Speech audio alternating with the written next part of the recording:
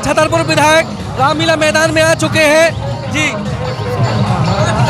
है हो रामनवमी के अवसर पर सभी को बहुत बहुत शुभकामनाएँ और बधाई। इस वक्त हम मौजूद हैं रामलीला मैदान में जहाँ पर हमारे साथ मौजूद हैं नंदा पाठक जी। जी क्या कहना चाहते हैं रामनवमी के पर्व को लेकर? बस रामनवमी के दिन हम ढेर सारी शुभकामनाएँ देते हैं और प्रभु श्री राम का जन्म हो गया है और सबके मन राम है शहर राममय है। सभी को ढेर सारी शुभकामनाएँ। इस वक्त हम मौजूद हैं रामलीला मैदान में जहाँ पर राम जन्मोत्सव हो चुका है। हमारे साथ नगर पालिका अध्यक्ष ज्योति चौरसिया जी भी मौजूद है। जी क्या कहना चाहते हैं रामनवमी के पर्व को लेकर? मैं पूरे नगर वासियों को रामनवमी में सबको बहुत बहुत बधाई देना चाहती हूँ शुभकामनाएँ देना चाहती हूँ। और मर्यादा पुरुषोत्तम का जन्म हो चुका है।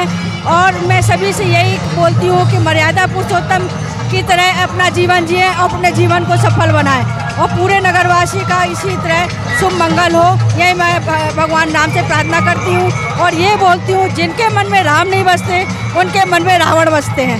एक झांकी लगाई गई है जो कई वर्षों से झांकी लगा रही है। क्या नाम है आपका? कविता राज। क्या नाम है संस्था का? अभ्यास समिति।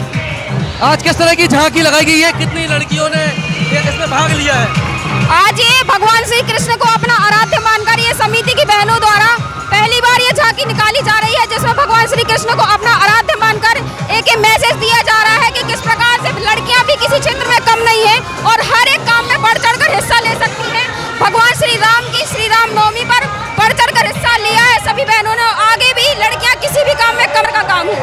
आप जो टाइम से लगातार रामनवमी की शोभा यात्रा आप लाइव देख रहे हैं। अच्छी बाई का पूरा रूप इन लोगों के द्वारा रखा गया है। जी नाम आपका?